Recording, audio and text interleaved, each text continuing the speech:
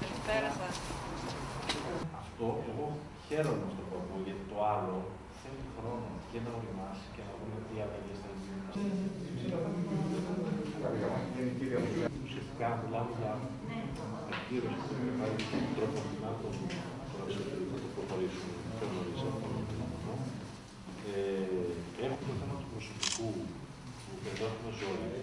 Συζητήσαμε για τις ε, σημαντικές πρωτοβουλίες που λαμβάνει η κυβέρνηση και το Υπουργείο Εσωτερικών όπως είναι η αλλαγή του εκλογικού νόμου και την κατεύθυνση η οποία αυτή η αλλαγή πρέπει να έχει, η κατεύθυνση των ισχυρών περιφερειών, των διοικήσεων που θα μπορούν την επόμενη μέρα των εκλογών να πάνε τον τόπο μας μπροστά.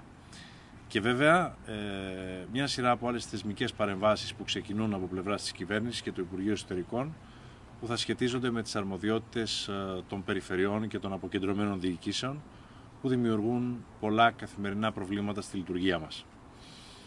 Ταυτόχρονα συζητήσαμε για τη δυνατότητα ε, επιπλέον χρηματοδοτήσεων των περιφερειών, ιδιαίτερα από τους εθνικούς πόρους, αλλά και από ε, προγράμματα όπως ε, το Αντώνης Τρίτσης, το οποίο τρέχει αυτή τη στιγμή και πιστεύουμε ότι οι περιφέρειες μπορούν και πρέπει να έχουν έναν ουσιαστικό ρόλο στη διαμόρφωση αυτού του προγράμματος και στην απορρόφηση των κονδυλίων του Αντώνης Τρίτσης.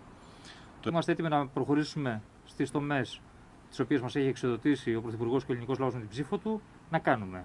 Σε θεσμικό και σε αναπτυξιακό επίπεδο. Σε θεσμικό επίπεδο έχουμε ήδη συζητήσει το θέμα του εκλογικού νόμου.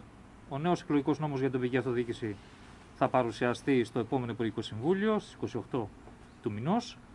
Κάποιες πτυχές συζητήσαμε σήμερα. Πλήρη ανάλυση θα έχουμε στις αρχές επόμενης εβδομάδας και θα συζητήσουμε με την ΕΝΠΕ φυσικά και με την ΚΕΤΕ, τους θεσμικούς εκπροσώπους, ώστε όλοι μαζί να προχωρήσουμε να γυρίσουμε σελίδα που θα ευνοεί την κυβερνησιμότητα προς όφελος της αποτελεσματικότητας, δηλαδή των ποιοτικών υπηρεσιών που περιμένει ο πολίτης από εμάς.